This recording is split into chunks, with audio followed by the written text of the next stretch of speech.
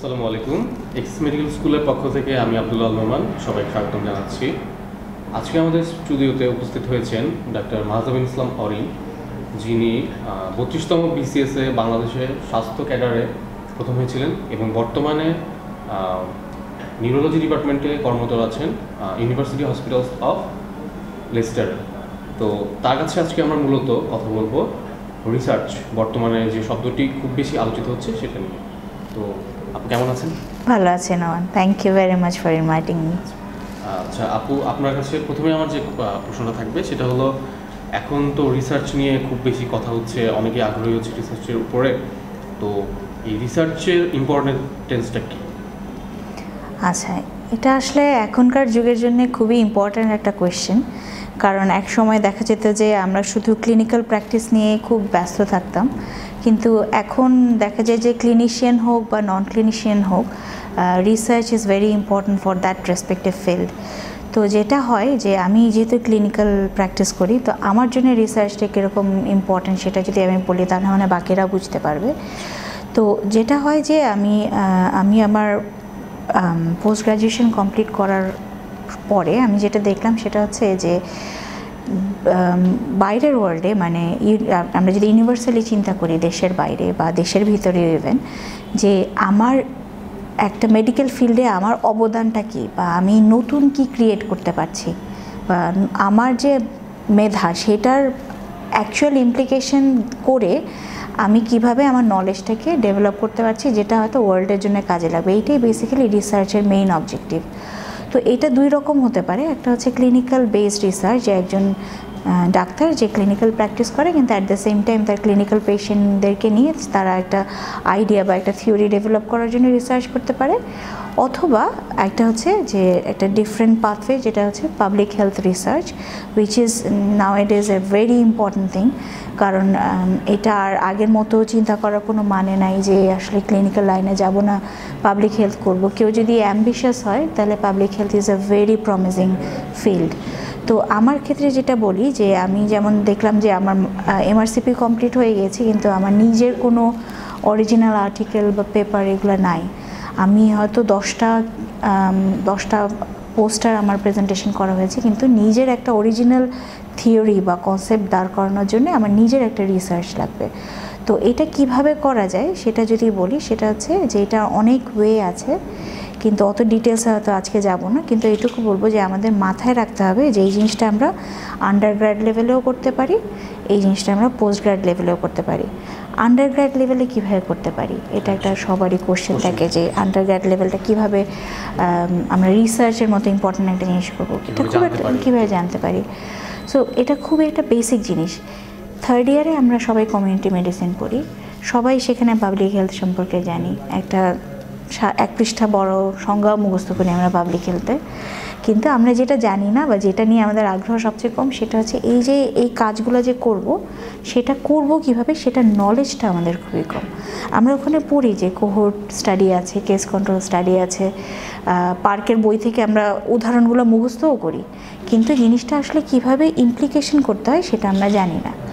এটার ইমপ্লিকেশন করার ওয়েও আমাদের কারিকুলামে আছে। সেটা হচ্ছে আরএফএসটিতে আমরা যে ডেটা কালেকশনের জন্য যাই, সেইটা কিন্তু আমরা বেসিক্যালি রিসার্চের বেসিস বেস বেসিসের জন্যই যাই। ধরো, আম- আমার যেটা আরএফএসটি ডিজার্টেশন ছিল, সেটা বেসিক্যালি ছিল যে পেশেন্টদের রুরাল পপুলেশনে হাইপার টেনশনের প্রিভালেন্সটা দেখা এবং কী কী মেডিকেশন তারা নেয় সেটা নিয়ে কাজ করা। সেইখানে আমরা হয়তো, আমার যতটুকু মনে আছে, আমরা দুইশো পেশেন্টের ডেটা কালেক্ট করেছিলাম আমাদের গ্রুপ থেকে। কিন্তু টু ইটস ভেরি আনফর্চুনেট যে ওই ডেটার ডেটাটা আসলে যে কী হয়েছে আমার এক্স্যাক্টলি মনে নেই। কারণ ওটা রিলেটেড ওটা দিয়ে যে আসলে একটা খুব সুন্দর থিসিস করা যায়, ওটা পেপার লেখা যায়, এই মিনিমাম কনসেপ্টটা তখন আমাদের ছিল না। তো আমি যেটা বলতে চাইছি, যারা আন্ডার গ্র্যাজুয়েট আছো তোমরা, তারা ডেফিনেটলি ওই সময় যে ডেটাগুলো কালেক্ট করবে, সেই ডেটাগুলো সুন্দর করে নিজের কাছে রেখে দিবা। যদি এখন অন্য কাজের জন্য, ব্যস্ততার জন্য সময় নাও হয়, তাহলে আমরা যেটা করতে পারি, যখন আমরা ফিফথ ইয়ার একটু ফ্রি হব, তখন ওই ডেটা রিলেটেড একটা থিসিস বা রিসার্চ পেপার আমরা বের করতে পারব। কীভাবে এটা শিখব আমরা এই জিনিসটা? ইনভলভ ইনভলভ হব। তাহলে একটা হচ্ছে আমরা যখন ডেটাগুলো কালেক্ট করব আমরা সিনসিয়ারলি ডেটাগুলো কালেক্ট করব। এইটা রিসার্চটা মেইনলি দুই রকম। একটা হচ্ছে আর আরেকজনের পেপ- অনেকগুলো পেপার আছে সেইটার একটা থিওরির আমরা সামারি করে একটা আর্টিকেল লেখা যেটাকে আমরা বলি রিভিউ আর্টিকেল আরেকটা হচ্ছে অরিজিনাল আর্টিকেল যেটা হচ্ছে আমি একটা থিসিস বা আমি একটা প্রোটোকল বানাবো, সেটা রিলেটেড ডেটা নিব, সেই ডেটা অ্যানালাইসিস করব আলটিমেটলি সেটা নিয়ে আমরা একটা পেপার বানাবো। তো এই দুইটা কাজই করা খুব বেশি ডিফিকাল্ট না, যদি আমরা মেথডটা জানি যদি আমাদের এইমটা থাকে। এটার জন্য বেশ কিছু অনলাইন কোর্সও আছে, আমি হয়তো সাজেস্ট করতে পারি। যেমন আমি নিজেই একটা অনলাইন কোর্স করছি, সেটা হচ্ছে কোয়ালিটেটিভ রিসার্চ মেথোডোলজির উপরে। এইটার ইউকের স্টোন ব্রিজ কলেজ বলে একটা ওয়েবসাইট আছে, কেউ যদি সার্চ দেয় তাহলে হয়তো পাবে। স্টোন ব্রিজ কলেজের আন্ডারে ওদের অনেকগুলো কারিকুলাম আছে। এইটা হচ্ছে ওয়ান অফ দেম এবং এটা একটা অনলাইন সার্টিফিকেট কোর্স এটা পাঁচটা না ছটা মডিউল আছে ওটা কমপ্লিট করলে ওরা হচ্ছে একটা সার্টিফিকেট দেবে। দুইটা লাভ একটা হচ্ছে আমি রিসার্চ মেথোডোলজি একটা সার্টিফিকেটও পাচ্ছি। সাথে আমরা শিখতেও পারছি যে জিনিসটা আমরা কীভাবে করব। এইটা একটা ওয়েতে শেখা যায়। সিনিয়র কেউ যদি কাজ করে তার সাথে থেকে কাজগুলো শেখা যায়, যে হয়তো একজন ভাইয়া আর আপু হয়তো করছে, কোনো একটা পেশেন্ট রিলেটেড ডেটা কালেক্ট করছে, কীভাবে করছে সেটার জন্য জানার জন্য আমি একদম জুনিয়র একদম আন্ডারগ্রেড লেভেলে কী করতে পারি? ভাইয়া আপুকে হয়তো ডেটা কালেকশনে হেল্প করতে পারি।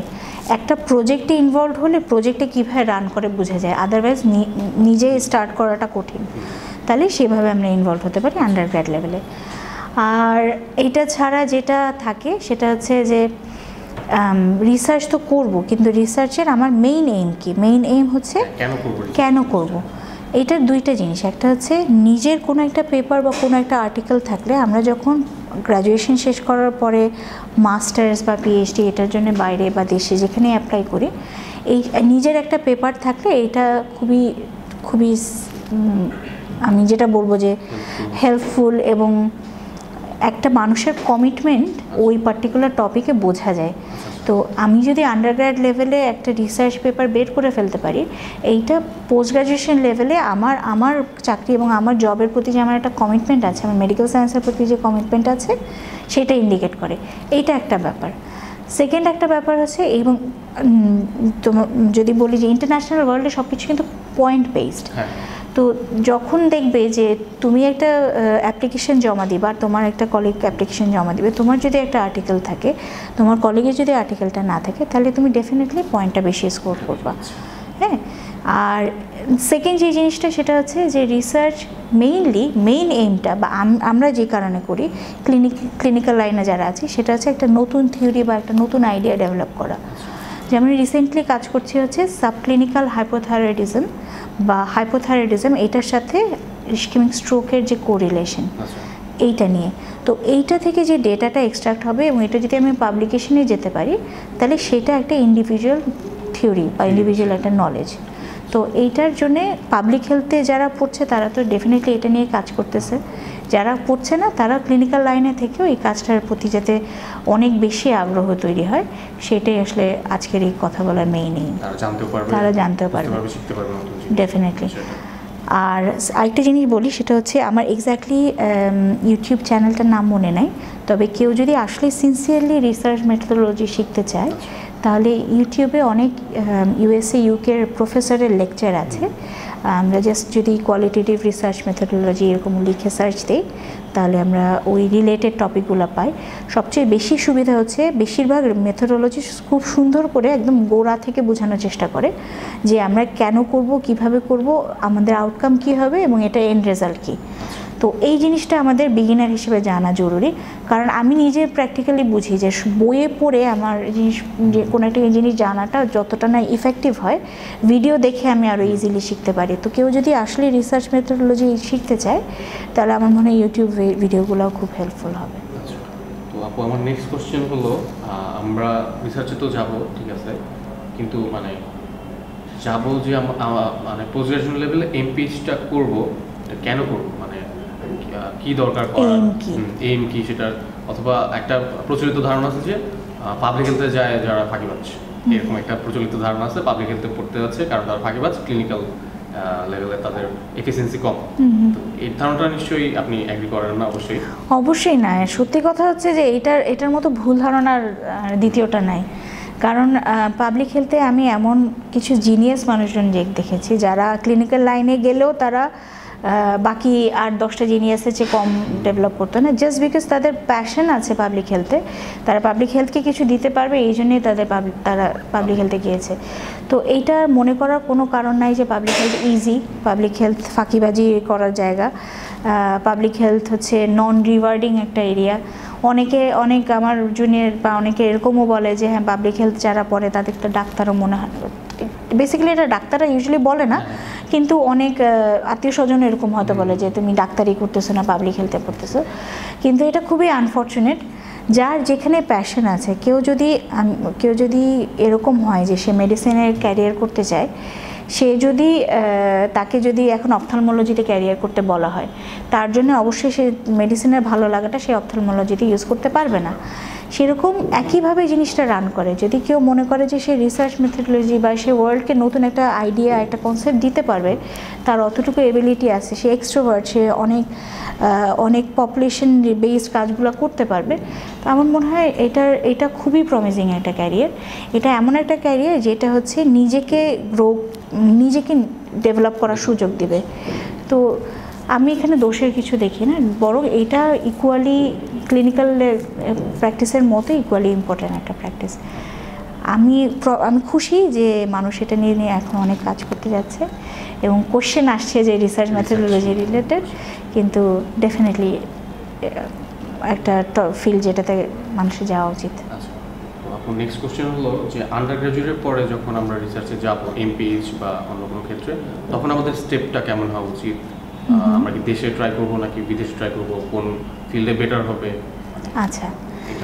এইটা হচ্ছে আমি আমার ফ্রেন্ডদের এক্সপিরিয়েন্স শেয়ার করতে পারি।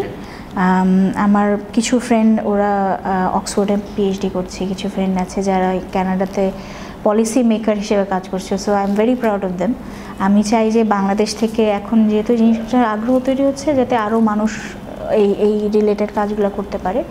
তো ওরা যেটা করেছে, আমি যেটা দেখতে, দেখতাম সবসময় যে ওরা যখন ইন্টার্নশিপের মিড মাঝামাঝি টাইম বা হয়তো এন্ড অফ ইন্টার্নশিপ তখন ওরা হয়তো একটা দেশের একটা মাস্টার্সে ভর্তি হয়েছে।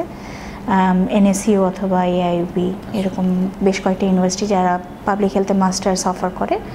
তো ওটা করতে করতে দেখা গেছে যে যারা হয়তো বাইরে এম করছে, তারা কানাডা সুইডেন ইউকে এসব জায়গায় তারা মাস্টার্সের ফান্ডিংয়ের জন্য বিভিন্ন জায়গায় অ্যাপ্লাই করেছে। তো এটার ইজি ওয়ে হচ্ছে আমার মনে হয় দেশের একটা মাস্টার্স করা থাকলে ডেফিনেটলি ভালো। সেই ক্ষেত্রে হয়তো যদি আমরা ফিক্স করি ইন্টার্নশিপের সময় যে আমরা পাবলিক হেলথে ক্যারিয়ার করব ওয়েল ডান কোনো অসুবিধা নেই। তাহলে সেই ক্ষেত্রে আমি যেটা করতে পারি যে হয়তো ইন্টার্নশিপের মিড মাঝামাঝি সময় অথবা শেষে এসে একটা মাস্টার্সে ভর্তি হয়ে গেলাম। সেই মাস্টার্স চলাকালে আমার বাইরের ইউনিভার্সিটিগুলোতে আমরা অ্যাপ্লাই করতে থাকলাম। দেখলাম যে কোন ইউনিভার্সিটি বেটার ফান্ডিং দিচ্ছে। পাবলিক হেলথেরও অনেক রকম ব্রাঞ্চ আছে। এটা তো যারা পাবলিক হেলথে কাজ করে তারা বেটার বুঝবে। আমি আমার ফ্রেন্ডে এপিডেমিওলজিতে কাজ করছে বা এরকম আরও বেশ কিছু। নন কমিউনিকেবল ডিজিজ এইসব রিলেটেড কাজকর্ম করছে। তো এটা ওই সময় মাস্টার্স করতে করতে আমরা এইম ফিক্স করে ফেলতে পারব যে কোন ব্রাঞ্চটাতে আসলে পাবলিক হেলথে আমরা যেতে চাই। সেই হিসেবে আমরা তখন বিভিন্ন ইউনিভার্সিটি থেকে অ্যাপ্লাই করতে পারব। আমি ইউকেতে থাকি আমি ইউকেরগুলো ভালো বলতে পারব। সেটা হচ্ছে ইউকেতে ইউনিভার্সিটি মোটামুটি সবগুলোই ভালো। হয়তো আমরা র্যাঙ্কিং দেখে দেখে সিলেক্ট করতে পারি। আর যেটা করতে পারি যে মেইন প্রবলেম আসে হচ্ছে স্কলারশিপ নিয়ে। মাস্টার্সের স্কলারশিপ ইউকেতে পাওয়াটা হয়তো একটু ডিফিকাল্ট হতে পারে তবে লেগে থাকলে হয়তো পাওয়া যায়। তো স্কলারশিপের মধ্যে সেভেনিং স্কলারশিপ আছে কমনওয়েলথ আছে অথবা ইউনিভার্সিটি কিছু ফান্ডিং দেয়। এই রিলেটেড জিনিসগুলো হচ্ছে আমরা গুগল করে বের করে নিতে পারি। কারণ সব ইনফরমেশন বেসিক্যালি ওরা ওদের ওয়েবসাইটেই দিয়ে দেয় তো যে যার যেভাবে আগ্রহ সেই রিলেটেড আগ্রহের জায়গাগুলোতে ওভাবে সার্চ করে নিলে মনে হয় মাস্টার্স পাওয়া যায়। আর যেটা বলি যে সবসময় এক্সট্রা কারি ক্লিনিক্যাল এবং কারিকুলার অ্যাক্টিভিটির সাথে সাথে যে কোনো মাস্টার্স পিএইচডির জন্য এক্সট্রা কারিকুলার অ্যাক্টিভিটিও খুব ইম্পর্ট্যান্ট আচ্ছা আপু ওই মানে একটা ক্যারিয়ার করার ক্ষেত্রে আমরা নিশ্চয়ই আগ্রহটাই মেইন না। তো আগ্রহের সাথে সাথে তার আর কি কি স্কিল ডেভেলপ করা উচিত বা কি কি নলেজ ডেভেলপ করা উচিত সেগুলো নিয়ে যদি একটু বলেন। আগ্রহের সাথে সাথে যেটা আমার সবসময় মনে হয় যে আমাদের আম, দেশে আমরা, আম- সবসময় বলি, এটা it sounds probably proud but সেটা হচ্ছে আমরা অ্যাভারেজ আমাদের ব্রেইন বা আমরা অ্যাভারেজ মানুষ ব্রিলিয়েন্ট অ্যাভারেজ মানুষ ট্যালেন্টেড কিন্তু যদি কোনো কিছুর অভাব থাকে, সেটা হচ্ছে প্রপার গাইডেন্স তো জুনিয়র লেভেল থেকে যদি আমরা, যেমন ধরো, আমি যখন স্টুডেন্ট ছিলাম, তখন হোলি ক্রসে পড়ার সময় আমি ডিবেট ক্লাবের প্রেসিডেন্ট ছিলাম। ডিএমসিতে থাকার সময় কালচারাল ক্লাবের হয়তো ইন্টারনি যে চিকিৎসক পরিষদ আছে ওখানকার কালচারাল ক্লাবের সেক্রেটারি ছিলাম। তো যখন করতাম, তখন সবাই বলতো যে, এগুলো করে কী লাভ? ডিবেটে সময় দিয়ে কী লাভ? কিন্তু পরে যখন আমরা ওয়ার্ল্ড লেভেলে কোনো কিছুতে কম্পিট করতে যাই, সেটা মাস্টার্স হোক বা সেটা হয়তো ক্লিনিক্যাল ক্যারিয়ারে কোনো একটা পার্টিকুলার ইন্টারভিউ ডিল করা হোক সব কিছুতেই বেশ কয়েকটা জিনিস লাগে। তার মধ্যে একটা হচ্ছে এক্সট্রা কারিকুলার অ্যাক্টিভিটি সেই এক্সট্রা কারিকুলার অ্যাক্টিভিটির মধ্যে সেটা হতে পারে ছবি আঁকা সেটা হতে পারে ফটোগ্রাফি সেটা হতে পারে ডিবেট যে কোনো একটা কিছু যেটা একটা মানুষকে একটা কমপ্লিট মানুষ হিসেবে দাঁড়া করাতে পারে। কারণ ইন্টারভিউয়াররা বা যে আমাকে ফান্ডিং করবে সে দেখতে চাচ্ছে না যে সেটা ক্লিনিক্যালি কত বেটার সে মেইনলি দেখতে চাচ্ছে সে ওভারঅল প্যাকেজ কিনা। মানুষ একজন একজন মানুষ হিসেবে কেমন? তো এই জন্যে দেখা যাচ্ছে যে কোনো এক্সট্রা কারিকুলার অ্যাক্টিভিটি সেটা যে কোনো কিছু হতে পারে ডিবেট ক্লাব হতে পারে হয়তো আরও অনেক অনেক তোমরা যেমন একটা কাজ করছ যে এক্সেস মেডিকেল একটা অসাধারণ প্ল্যাটফর্ম দিচ্ছ জুনিয়রদেরকে সেটা একটা খুব খুব ভালো একটা লিডারশিপ স্কিল হ্যাঁ? আর লাস্ট যেটা বলব সেটা হচ্ছে যে ভলেন্টিয়ারিং ইম্পর্ট্যান্ট যেমন হয়তো বিভিন্ন অ্যাপ্লিকেশনে ছোট করে একটা ব্লকসই থাকে যে কোনো ভলেন্টিয়ারিংয়ের এক্সপিরিয়েন্স আছে কিনা। তো ভলেন্টিয়ারিং অনেক কিছু হতে পারে। এখন দেশে অনেক রকম ফাউন্ডেশন আমরা যখন আন্ডার গ্রাড লেভেলে ছিলাম, এত ফাউন্ডেশন আসলে ছিল না। তো আমি পোস্ট গ্রাজুয়েশনে এসে হয়তো একটা কাজ করতাম হচ্ছে হাতিরপুলে একটা স্কুল আছে, পরি হাসিমুখ স্কুল ওটার হয়ে ওট- ওটার বাচ্চাদের জন্য কিছু কাজ করতাম। নিজে প্র্যাকটিক্যালি ক্লাস নিতে পারতাম না ব্যস্ততার জন্য, কিন্তু জাস্ট হয়তো ফিনান্সিয়ালি অ্যাসিস্ট করতাম বা হয়তো কিছু আইডিয়া দেওয়া এই ধরনের কাজগুলো করতাম। তো এইটা একটা খুবই ভালো ভলান্টিয়ারিং তারপরে আরও কিছু আছে যেমন এক টাকার আহার বলে একটা গ্রুপ আছে। ও- ওরাও খুব ভালো কাজ করে আমার সময় থাকলে আমি ওদের সাথে দেখা করতাম কিন্তু সময় পাইনি। তো এরকম কাজগুলো বা জাগো ফাউন্ডেশনও মনে হয় আছে। তো এইগুলো আমরা আমাদের সিভিটাকে বিল্ড করার জন্যে এই কাজগুলো আমরা বেসিক্যালি যদি জয়েন করি আমার মনে হয় ওভারঅল আমরা একটা ক্যান্ডিডেট হিসেবে অ্যাসেস করতে গেলে আমরা খুব ভালোভাবে ইন্টারভিউগুলো ডিল করতে পারব। এটা যেমন আমাদের সিভিকে ডেভেলপ করে তেমনি আমাদের নিজের। আচ্ছা সেটাই। তো আমরা আপনার সাথে কথা বললাম মেইনলি রিসার্চ নিয়ে এবং রিসার্চে আরও কিছু ইম্পর্টেন্ট টপিক নিয়েও কথা বলব আমরা আপনার সাথে। তো রিসার্চে ইনভলভ হওয়ার পরে কী কী স্টেপ যেমন পোস্টার প্রেজেন্টেশন বা আরও যে ধরনের স্টেপগুলো থাকে সেগুলো নিয়ে একটু নেক্সট কোশ্চেনটা হলো আমার, এখন বিভিন্ন স্যার বা ভাইয়া, আপু বা আপনারই আমরা বিভিন্ন রকম পোস্টার প্রেজেন্টেশন দেখতে পারি।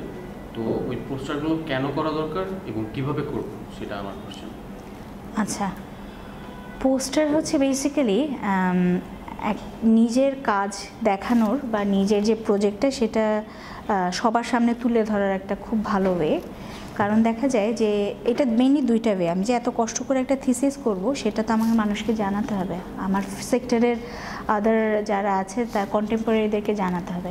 তো সেটা জানানোর বেস্ট ওয়ে হচ্ছে একটা হচ্ছে আর্টিকেল পাবলিকেশন করা। আর সেকেন্ড যেটা, সেটা হচ্ছে যে পোস্টার প্রেজেন্টেশন করা। ইউজুয়ালি আর্টিকেল যেহেতু পিয়ার রিভিউ মানে রিভিউ আর বিভিন্ন বাট যারা হচ্ছে আর্টিকেলগুলো ছাপানোর আগে এটা কি আসলে অথেন্টিক কিনা, এটাতে কোনো ভুল আছে কিনা, এটা রিভিউ করে। তো এই জন্য জিনিসটা অনেক সময় লেগে যায় দেখা যায় পাবলিকেশন হিসেবে আসতে। তো সেটার একটা ইজি ওয়ে হচ্ছে পোস্টার পাবলিকেশন করা। এটাও ওয়ার্ল্ড লেভেলে বেশ অ্যাকসেপ্টেড এবং দেখা যায় যে আমাদের বয়সে আস্তে আস্তে অনেক মানুষের অনেক অনেক পোস্টার হয়ে যায়। তো লাকিলি আমি যেটা আমি যে ইনস্টিটিউশনে কাজ করতাম ইউনিভার্সিটি হসপিটালস অফ লেস্টার ওরা এই ব্যাপারে খুব প্যাট্রোনেজ করে এবং এই কারণে দেখা গেছে যে আমার লাস্ট ওয়ান ইয়ারেই নয়টা পোস্টার হয়ে গেছে।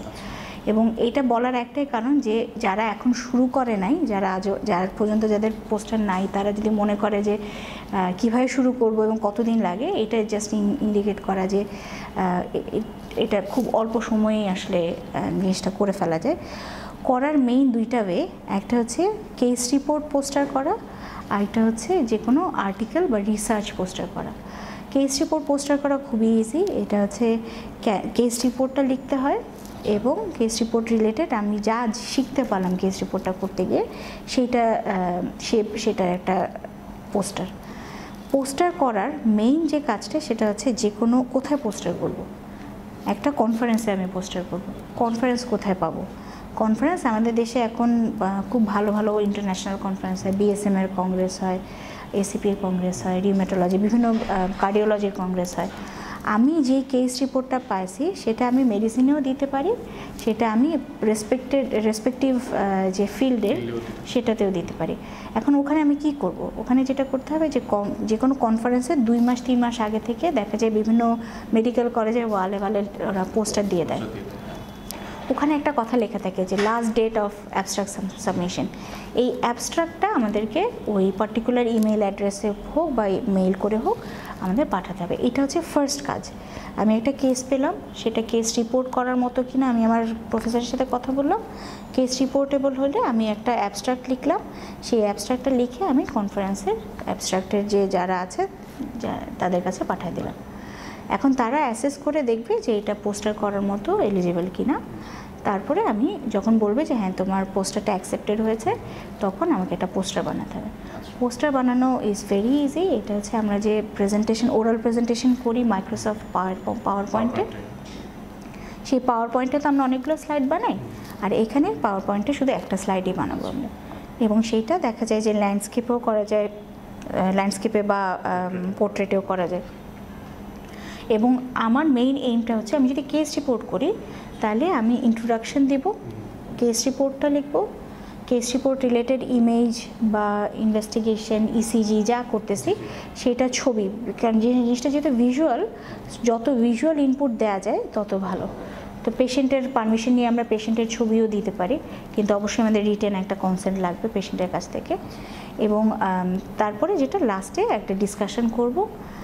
আমি পার্টিকুলারলি প্রেফার করি কোনো একটা পোস্টার করলে লার্নিং পয়েন্ট বলে একটা ব্লক রাখতে। আচ্ছা। যে চারটা পাঁচটা আমি যে আমি যে কাজটা করলাম সেটার মেইন যে জিসটা সেটা যাতে মানুষ আর কিছু না পড়লেও লার্নিং পয়েন্টটা পড়লে সে বুঝতে পারে। আর ফাইনালি শেষে থাকে ছোট্ট করে হচ্ছে রেফারেন্স ইটস ভেরি ইজি এটা অনেক অনেক প্রফর্মা আছে যার যেরকম ইচ্ছা সেরকম করতে পারে কিন্তু ওয়েটা এরকম যে অ্যাবস্ট্রাক্ট কেস রিপোর্ট বের করা মানে কেস বের করা কেস রিপোর্ট করা অ্যাবস্ট্রাক্ট লেখা অ্যাবস্ট্রাক্ট জমা দেওয়া অ্যাকসেপ্টেড হলে ফাইনালি ওটা পোস্টার করা। পোস্টার করার জন্য এখান থেকে এখানে আমাদের যে কোনো নীলক্ষেতের বড় A eight size sorry A zero বা এ ওয়ান সাইজের একটা ইয়ে দেয়া থাকে একটা প্রোটোকল দেয়া থাকে যে কোন কোন সাইজের পোস্টার ওই পার্টিকুলার কনফারেন্স যাচ্ছে। সেটা দিলে আমরা আলটিমেটলি পাবলিশ করতে পারি। এটা গেল কেস রিপোর্ট আর যারা রিসার্চ করতেছে যা ধরো যাদের হয়তো ক্লিনিক্যাল রিসার্চ আছে ডায়াবেটিসের উপরে অথবা এসিলির উপরে। তারা কি করে? তারা ফার্স্টে যেভাবে রিসার্চটা করছে এইম কী ছিল মেথোডোলজি কী ছিল তারপর ডিসকাশন বা এই, এইটা থেকে আমাদের আউটকাম বা রেজাল্টটা কী হলো, আর লাস্টে একটা ব্রিফ হচ্ছে পুরো ওভারঅল মেথোডোলজি এবং আউটকাম রিলেটেড একটা লেখা লিখে লাস্টে রেফারেন্স দিয়ে ওইটা ওভাবে আমরা কেস রিলেটেড করতে কেস রিলেটেড ছাড়া আমরা রিসার্চ রিলেটেড করতে পারি।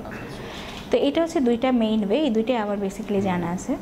আর হচ্ছে কেন করব এইটা বলতে পারি। সেটা হচ্ছে যে যে কোনো এটা হচ্ছে আমি আমি যখন ওয়ার্ল্ড লেভেলে কম্পিট করি আরেকজন আর- আরেকজন কন্টেম্পোরারির সাথে, তো যখন একটা কম্পিটিশনের লেভেলে এসে দেখব যে একজনের দশটা পোস্টার আর একজনের হয়তো একটা পোস্টার তাহলে ডেফিনেটলি ইন্টারভিউয়ার অথবা যে মাস্টার্সের জন্য অ্যাসেস করতেছে সে তার ক্ষেত্রে যেটা দাঁড়াবে যে সে যে বেশি পোস্টার করছে তার প্রতি একটা ইনক্লাইনেশন তৈরি হয়। তো এইটা সব কাজের জন্যই আসলে আমরা যে যে যে বেশি কাজ করে তার তার প্রতি বেশি আগ্রহ থাকে। তো যে দেখবে যে একজনের দশটা পোস্টার আছে বা একজনের এতগুলো রিসার্চ আর্টিকেল আছে সে ডেফিনেটলি আরেকজনের থেকে বেটার পজিশনে চলে যেতে পারবে। এইটাই হচ্ছে মেইন এই পোস্টারের আচ্ছা তো আমরা মূলত ডাক্তার অরিন আপুর কাছ থেকে জানলাম রিসার্চ নিয়ে রিসার্চের সম্ভাবনা, গুরুত্ব রিসার্চ কীভাবে শুরু করা যায়, কারা করতে পারে, আর এই রিসার্চ ফিল্ডে সম্ভাবনা এবং ভবিষ্যৎ নিয়ে তার মূল্যবান বক্তব্যগুলো তিনি আমাদের সাথে শেয়ার করলেন। এই জন্য আপুকে ধন্যবাদ আমাকে আমাদেরকে সময় দেওয়ার জন্য। আপুর সাথে যোগাযোগ করতে হলে পার্সোনালি তাকে ফেসবুকে নক করতে পারেন। তার প্রতিবেশন নিয়ে একটি গ্রুপ আছে, সেখানে নক দিতে পারেন। এবং তিনি পার্সোনালি ব্লগ লেখার চেষ্টা করেন, সেগুলো করতে পারেন। আর অথবা আমাদের সাথে যোগাযোগ করতে পারেন লাইক দিতে পারেন এক্সিস মেডিকেল স্কুল পেজে আমাদের এক্সিস মেডিকেল স্কুল গ্রুপে যুক্ত হতে পারেন। এবং Axis medical school YouTube channel থেকে সাবস্ক্রাইব করে আমাদের ভিডিওগুলো দেখতে পারেন। ধন্যবাদ। সবাইকে ধন্যবাদ।